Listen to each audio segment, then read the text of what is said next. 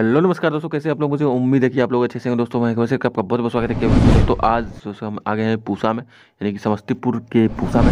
और यहाँ पर जो सो, डॉक्टर राजेंद्र प्रसाद कृषि विश्वविद्यालय में जो सो, मेला का आयोजन किया जाता है हर साल कृषि मेला का। तो हम यहाँ पर आ गए आपको शुरू तक सब कुछ दिखाएँगे।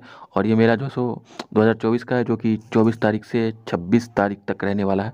तो बने रहिए आप लोग वीडियो में शुरू तक सारा कुछ यहाँ पर दिखाने वाले हैं हम, वो भी सिनेमेटिक रूप में। दोस्तों, इस मेले में आते ही हमें बहुत सारे स्टॉल देखने को मिलते हैं और इतने सारे स्टॉल है कि हम रास्ता भी भटक जाते हैं किधर जाना है पहले और किधर जाना है बाद में। यहाँ पर देख सकते हैं बहुत सारे पौधे हैं जो कि लिखा हुआ है। मैं कुछ ज़्यादा समझा नहीं पाऊँगा आपको। आप जो सो पिक्चर में ही देख सकते हैं जो कि बहुत सारे पौधा का जो है सो वैरायटी है, नस्ल है।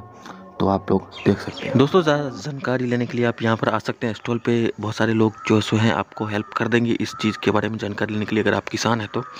और हमें पता है कि अगर आप किसान हैं, तभी ये वीडियो आपको इंटरेस्टिंग लगेगा देखने में, वरना आप नहीं देखें। यहाँ पर देख सकते हैं वो यहाँ पर बहुत सारे चीज़ें ऐसे बनाए गए हैं जो कि हमें एक मिनी यानी छोटे नमूने के तौर पर देखने को मिलता है, जो कि हम बड़े लेवल पर भी उसके अपना सकते हैं। तो आप लोग स्टॉल पर आकर के, स्टॉल पर जो मौजूद रहेंगे, उनसे आप इसके बारे में जानकारी ज़्यादा ले सकते हैं। और यहाँ पर देख सकते हैं, गन्ने की हर तरह की किस्म है।